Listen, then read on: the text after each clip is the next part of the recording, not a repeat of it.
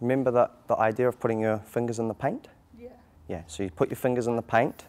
Yeah, so you'd be putting the paint going, and it'll go like that. You want to hit the ground with it. So it goes on the ground. This way. eh? Yes.